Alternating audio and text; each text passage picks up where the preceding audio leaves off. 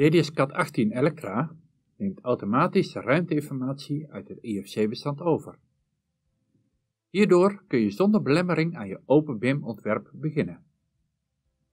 Het converteren van de ruimteinformatie en het maken van een ruimtedatabase is niet nodig. Deze stap in het proces kan volledig overgeslagen worden. De complete elektrotechnische installatie met symbolen wordt automatisch gekoppeld met de ruimtegegevens, waaronder de vloeren, plafonds en wanden. Verkrijgt duurzame data en vermindert fouten met het ontwerpen van elektrotechnische installaties op basis van het IFC-referentiemodel in DDS-CAD 18.